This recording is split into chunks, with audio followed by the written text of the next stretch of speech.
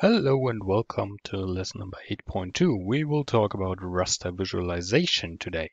And we will start right off with the SRTM file that is shipped along with the exercise data for this tutorial. And you might see that there's there, there are no not so many colors seen. So this is a black and white image or gray grayscale image. And um, currently it is set to, well, maximize the visual impact. By saying so, I mean make a stretch for the for the values from the lowest value to the highest stretch to minimum maximum. The lowest value in this image is zero and the maximum number is 1548. But if you have a look on the on the source or in at the information pattern, you can see that this is 16-bit signed integer. What does this mean? 16-bit signed integer. Okay, 8-bit is 0 to 255. 8-bit signed is minus 128 to plus 128. 16-bit integer is something different. So we have values from minus 16,000 up to plus 16,000. And if we go with the symbology tab and switch off to no enhancement at all, we would like to see the raw data then the data is treated as it is. So values with minus 16,000 will be displayed as black, plus 16,000 will be displayed as white. Let's have a look what happens to the image. Click on apply, you can see it already in the thumbnail up down there. We will see gray, just gray. So how can we improve this? Of course, we will say, well, take the lowest number in the data as black, take the highest number as white, and said so, we will use the stretch to min max here for the visualization. Sometimes you have some spikes in the data. Oh, what was happening here? Did I miss something? Go with stretch to min max, apply. There we are. Sometimes you have spikes in the data, like really high values, which you would like maybe not to overemphasize in the image.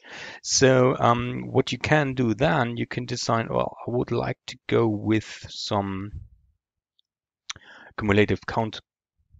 That set is that you will treat the upper 2% and the lower 2% as one class.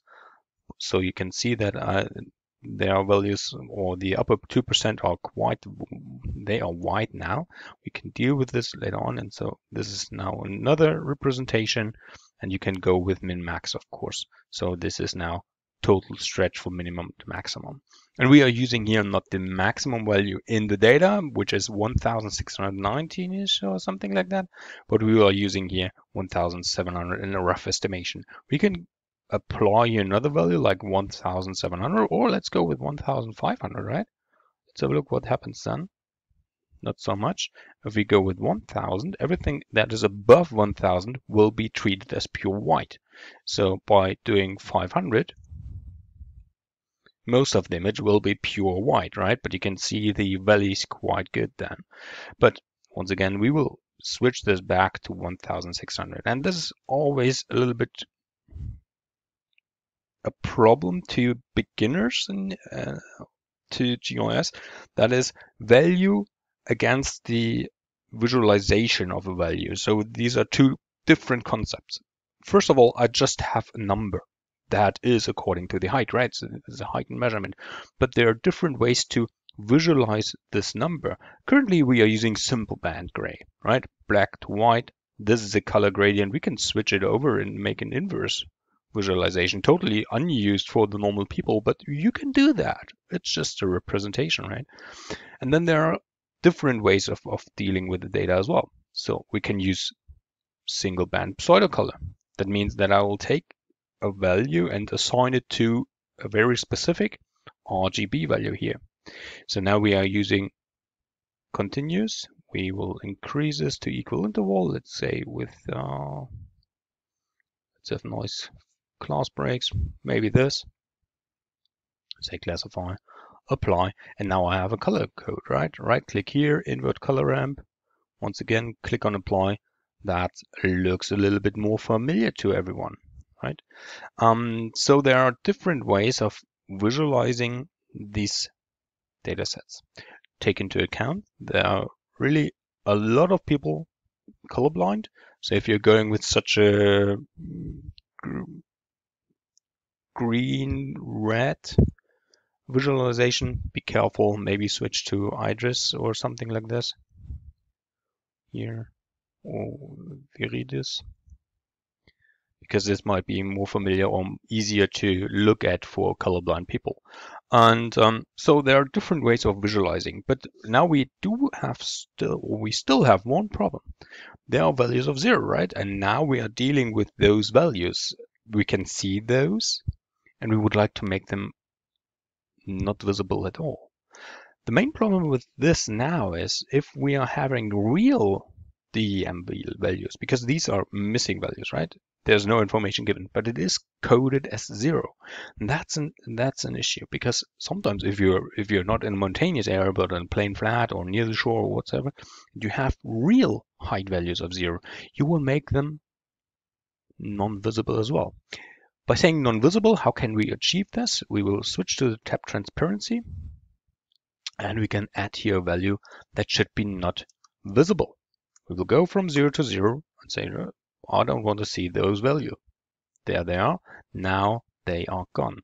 Let's click on OK and add the base map to our current view.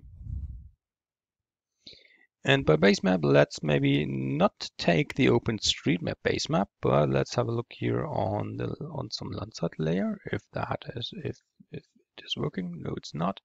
So we will go with a Bing layer, Bing satellite. And the SRTM layer, I, I would not like to see it in this uh, color code. I would like to have that in single band gray. From black to white, apply. Okay, great. So I can see now that there is some, of course, a satellite image that reflects somehow the mountainous area, uh, area or the mountainous region in the north. But what I can now achieve is some great visual effects. First of all, let's go with the transparency and set the whole layer to transparent 40%.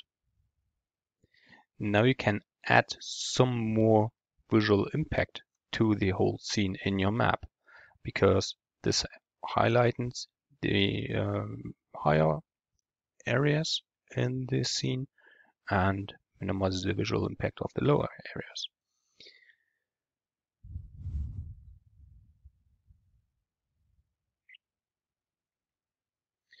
You can also turn this around,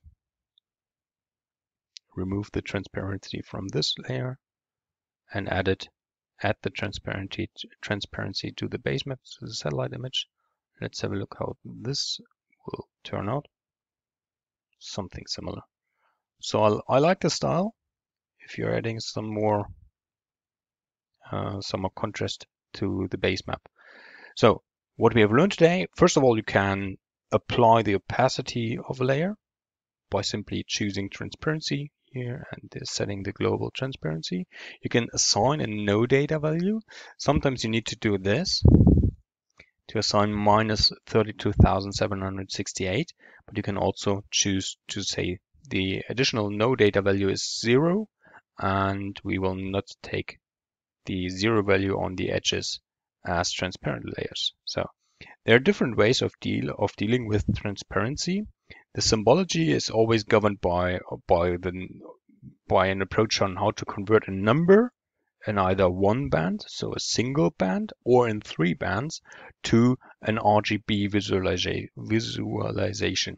Sometimes if you have three um, or, or if you have a band for each color for an R, a G, and a B, so red, green, and blue, uh, then you can work out and, and uh, assign new colors and, and increase great visuals.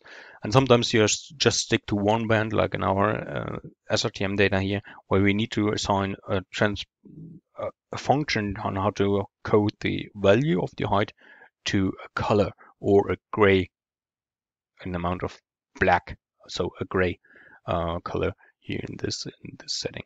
And we have learned that you can play around with the minimum maximum value settings here to increase the visual impact and to differentiate different uh, parts of your data. By dealing with those values, I will switch back to 100%. You can also have a look on the raster tools here, on the raster toolbar in the dialog. That makes it even easier to switch between different settings. So there's this look, uh, uh local cumulative with a 2 and uh, 18, 89. Um, to the full extent, you can um, change this to a local histogram or to the full extent. You can enlighten the image. You can make it darker. You can enhance the contrast and so on.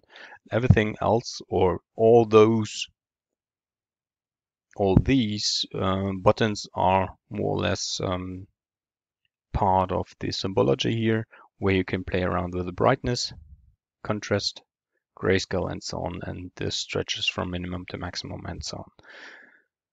Thank you very much for watching. If you have any questions or any comments you would like to make, just drop a line and I will answer them right away. Otherwise, thank you very much. Take care and goodbye.